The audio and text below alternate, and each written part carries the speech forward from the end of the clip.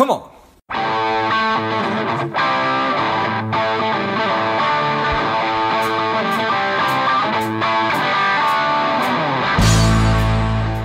Spending too much time on social? Is your daily screen time over two hours? Are you a little bit overweight? Not saving enough money? Any or all of these are familiar, Strive could be for you. The Strive two week online boot camp will help you to detox your mind, body, and money, getting you on your way to a happier, healthier, wealthier, and more confident life. Go to strivedetox.com, S T R I V E D E T O X.com, and get your mind, body, and money right. Judy, are you ready? I am ready. Excellent. I'm ready. The people are ready. Let's go. Welcome to Money Savage Engage. This is George Grumbacher. Judy Ryan is the CEO of LifeWorks Systems. She's a culture transformation specialist, a consultant, a trainer, an author, returning guest on the Money Savage podcast. Excited to have you back on. Judy, tell us a little bit about your personal life, some more about your work, and why you do what you do. Well, first of all, George, I just want to thank you for having me back. It's been good to get to know you in between these podcasts. Also, Yeah. I am the um, the owner of a company for since 2002, so we're in our 18th year, and I've actually been doing this work since the mid 80s, and you know, and doing it full time since 1998. So it's a it's a passion of mine. I don't seem to be di- that doesn't seem to be dimming. so, and I actually believe right now with everything that's going on, its time has come because it's all about how do we have human systems where people can actually create conditions and conversations where they love their lives. And I know a lot of people aren't loving their life right now, but I think it's it's an opportunity for them to grow in that.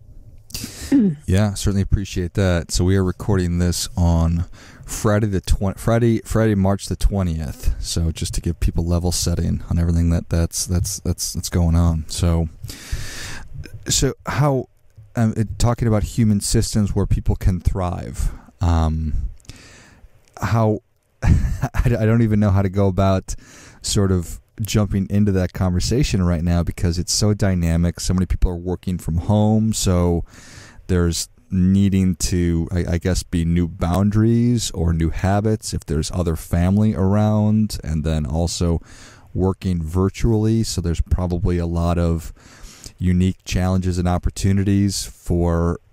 I, I, is it still interpersonal communication if it's a Skype call? Well, it's actually interpersonal between people, like a Skype call, even a Skype call, but also interpersonal within people. Hmm. And, you know, human systems is a big category, and this time is only one uh, area where it's very evident that it's time to interrupt some patterns. some patterns of how we see ourselves, some patterns of how we see one another, and one of the things that um, I just want to mention is that our work is based on the work of Alfred Adler, and he was a psychologist during the time of Freud and Jung. And there was a book about him last year called The Courage to be Disliked. And the two Japanese authors said in the foreword of their book that Alfred Adler was at least 100 years ahead of his time. And to me, that was so validating because I've been saying that since the mid 80s. And really, what is so important is that he was breaking down the power structures that have always been. And that's why I don't think people were ready for him until perhaps right now. And so um, I know you and I kind of talked a little bit about the topic today. Alfred Adler is one, this is one of his major. Um, you know, focuses and which was task ownership. Hope I didn't just jump in there too No, quickly on please. that, George. But so really, w- one of the things that's happening right now with the pandemic is that people, if they have not been managing themselves or their relationships or their mood or their motivation or their engagement level with life, it's really, they're going to really be caught off guard. Uh, so, one of the things that we teach in our work is what's called task ownership. And, and task ownership is simply when we become accountable to recognize what we're doing, recognize what's ours to do, and make sure that we're choosing all of those behaviors and all of those choices that allow us to have a fulfilling life. and contribute in meaningful ways to the larger community. So, sounds kind of simple, doesn't it? Like, you know, sure. you've got tasks, I've got tasks, but sometimes we don't actually have a clear idea of some of the things that should be our tasks and not our tasks. So, um, I know you kind of asked a little bit about this topic. Do you want me to answer any particular questions you have on that, or? Yeah, I, know, I, think uh, I think um, it's it, it it does on one hand seem like a pretty obvious thing. What what is it that I'm doing? What what is it that I'm supposed to be doing? Um, what what is within my purview? What is not? Um, is that in fact you are working with companies all the time and individuals? There's there's a disconnect there.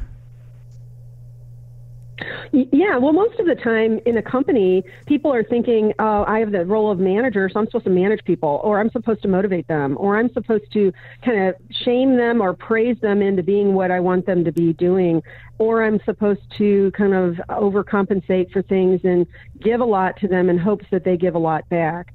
And, and that's the opposite of task ownership. Hmm. task ownership is when uh, people look around and see what's going on in their own life and they pick up what's theirs to pick up, but they also, in leadership, know how to transfer responsibility to other people. So, George, I don't know if this is okay or not, but I'll I'll tell you a story that I tell a lot that is a good example of transferring responsibility to someone. Perfect. Would that be okay? Yeah, please. Okay. So, um, there is this story, uh, and this is a real story. I was working with some schools, and there was this one particular school where there was one teacher in the whole building who was using our model, which is a, a responsibility based model where the primary uh, responsibility of the leader is to transfer responsibility to people. So she was this one little group within her her school, and so she had invited me in to sort of help to continue to teach her how to do that. And it happened to be on a day when they had a classroom meeting. And this was a group of eighth graders, so they're about 13, 14 years old. And she, uh, when I came into the classroom meeting, a, a boy came up to the teacher and said, I have something I want to add to the agenda for this classroom meeting. And she said, okay. So when it came around to his turn, what he said was, I'm being bullied by my homeroom teacher. Oh no. And he said that the school the school had brought in this pledge, kind of like the pledge of allegiance, only it was a pledge where you put your hand on your heart and you say, I pledge to use my words and actions for peace. And he said, What really bothers me is that the homeroom teacher pointed her finger at us real angry and said, If you don't do this pledge, you're going to get a detention. now, I don't know about you, George, but isn't that kind of a little uh, self defeating? Right. so his contention was, I'm being bullied and that's not right and I need help with this, you know. So the teacher looked at me like, okay, please show me what transfer of responsibility looks like in this. So I, I asked him, I said, first of all, do you even know what you want around peace? Like, do you want peace? And he said, Well, yeah, I do. And I said, Okay. Um, do you want peace with that teacher? And he said, Yeah, I do. And I said, Well, great, because I can help you then. Because one of the things we don't do with each other is own our own tasks. So one of my tasks in my life is to create a world where people love their lives. And I know if he'd say, I just want to take the teacher down, I would say, I'm not your person to help you with that. Right. And even that would have been an education for him. So I was able to say, great, you know, you know what you want here, and I'm happy to help you. Now, are you willing to see where you're doing war with this teacher? And his reaction was so funny because he's like, me? How am I the one doing war? She's the one who's bullying me.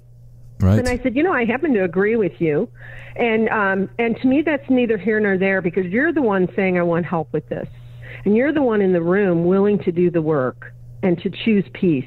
So, are you willing to look at where you're doing war? And he said, I guess, you know, it's a little reluctant, but he was willing. and I said, um, Do you ever say bad things about her behind her back? And he says, Well, yeah, I hate her. And I said, Huh. you can tell where I'm going, huh? You know, anything about gossip and hate that's warlike to you? And, you know, and he says, I guess, you know. And I said, Do you ever try to go to her and talk to her about how you're feeling about things because you have a very reasonable point here. And, you know, what if you went to her? And he said, well, we're all afraid of her. And I said, Ah, I said, Did you know that being afraid of people is a way that we're in attack to them? And he's like, What? And I said, um, If a dog comes rushing up at you, barking and growling and baring its teeth, if you get more afraid, will that dog get more hostile or less hostile? And he said, Well, more hostile. And I said, You're right, but why? And he said, I don't know. And I said, Well, that's probably because nobody's told you. But the reason that that dog gets more hostile is as you come at something with fear, you've already got them in the enemy camp. You've already got them in the monster box. And they're going to feel that you've got them in that place where you you you know have low faith in them and that you have to protect. So you've got that fighting stance whether you're aware of it or not. And they're going to respond accordingly. And so you probably didn't know it but as you were afraid of this teacher you are in war mode. You are in attack mode. And he goes well gosh you know i, I never thought of it that way. And i said well isn't it great you know that? So now what do you want to do? And he said well now i want to go to her but i don't even know how to begin you know? And i said well isn't that great that you have a teacher who has set it up that you have you know 20 classmates and time set aside to work through things like this? And what was really cool was that um, several of the other classmates said to him well i'll practice with you and i'll go with you because i've been doing more with that teacher too. Nice. And and that's what happens when you transfer responsibility so if you notice I asked questions. What do you want? Do you want peace? Do you want peace with that teacher? Are you willing to look at where you're doing more? Did you know that being afraid is attack? You know, like Socratic is transfer of responsibility. So that's why we have a saying now. Uh, one of our customers kind of helped us with this. I thought it was so cute. It's the uh, phrase SLAM say less, ask more. Hmm. When you're transferring responsibility to someone, you say, uh, you know, what do you, what should you be doing right now, or how are you going to take care of that thing that's yours? You know, instead of just lecturing and nagging and all the things we do. So what was kind of powerful about that for me was not only did the kids raise their responsibility sort of as a collective, but even that teacher came to me and said, you know, you can tell how much I care about these kids and what kind of teacher I am, but I'm actually uh, ready to go and work for you in school reform because we were doing a lot of projects at that time, and she said, because I'm, I'm tired of walking around the school and seeing all these values on the hallways, and it would be like saying math is crucial, reading is everything, and never having a math or reading class. and we can teach these kids math or reading, but if we don't get them this information, they're not going to really be able to function well in the world. So that's it's just interesting when you transfer responsibility, everybody picks it up a little more. Yeah, yeah. There's no question about it. That's that's a a, a wonderful uh, a wonderful illustration of of task ownership, and I was looking at it way too uh, probably granular of thinking about uh, like just tasks, like whatever it might be, doing reports or whatever, not owning what my responsibility is in interactions. Right. It's it's it is owning our tasks that are maybe you know our our cleaning jobs in in the household or something. Sure. But it's also bigger tasks like um, am I able to manage my relationships? Am I able to manage my own engagement in life and my own happiness? Am I able to manage a plan for my life where I'm actually focusing on what is it that I want to create in the world? Am I um, even responsible for my productivity if something's a barrier in my life. So those are things I can't even begin to tell you, George, that sometimes I talk to people that are in their 50s and 60s. And when I say, you know, it's your responsibility to be aligned with what you feel and what you want, they're not even used to asking themselves, what do I feel and what do I want? Yeah. Yeah, that, that that's such a powerful thing. I've been what's been on my radar for probably the last year are these ideas of affirmations and I am statements, saying that you know mm-hmm. I, I am the greatest husband in the world, whatever, versus asking myself an am I question because I guess you need to start with that. Well, you want to say I am this great husband because that's your vision, right? But you also want to say what is the story of that? Because you know everybody might have a different story around what it means to be a great husband or a great wife so uh, part of it is that personal responsibility to say i'm here for my own um, clear path. Because if we tune in, we are. We're all here for our, our own path. And if we um, listen to beyond the affirmation to, well, what does that mean for me and what's the so what of that? So if, if you came to me and said, I want to, I want, I've decided I'm going to be the best husband ever, I would say, well, what behaviors do you use that help you stay in what feels like best husband? And what visions do you have for being best husband? And so that would be a, um, hey, you know, because I'm a best husband, uh, my wife and I, I have all of these wonderful experiences together, and we're able to communicate effectively, and we're able to um, raise our kids in a unified front, and we're great with money, and you know, whatever that story is, that's where you start putting the rubber to the road.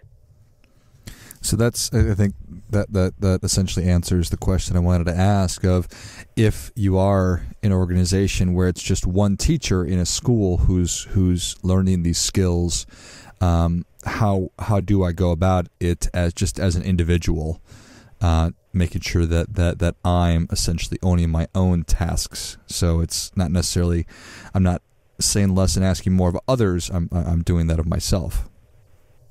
Right. The more that you're willing to learn and grow. So that teacher is a great example of somebody that said in their own life, I'm I'm stumbling onto something here that feels like it would be helpful to my students. And I'm going to do it no matter whether anyone else is doing it around me or not. I mean, right there was her task ownership. Yeah. Her willingness to have courage in the face of um, it's unconventional what I'm doing. I'm helping empower these kids when most people are just using the traditional control models. Like, like that's what is so ironic. That teacher in the morning was using a command and control approach for a peace pledge. Do it or else. Right you know and that's that's common in our workplaces too. People bring in oh i got this great idea the peace pledge. Let me slam it over your head with a hammer you know.